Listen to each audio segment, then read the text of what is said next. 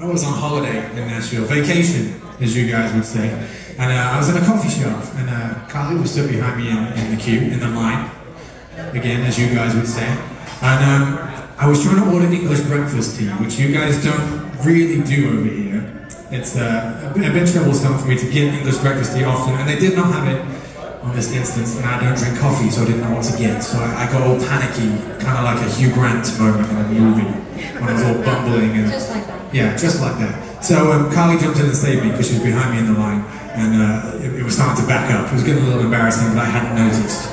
Um, so Karli jumped in and said, "This is the tea I get. Why don't you try this?" So I said, "Great." So we ordered a couple of herbal teas, and we sat down. We had tea together, and we, we hung out for a couple of hours. And uh, tea was terrible, but the conversation was great. So you know, you win some, you lose some, right?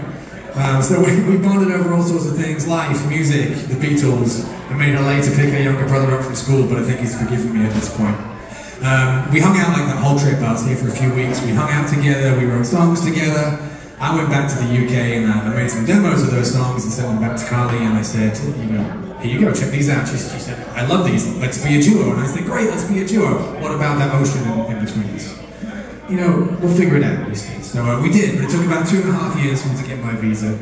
Uh, and when I did get my visa it was over here, that's when we finally started dating, which is what led us to where we are now. We've been married for four and a half years at this point.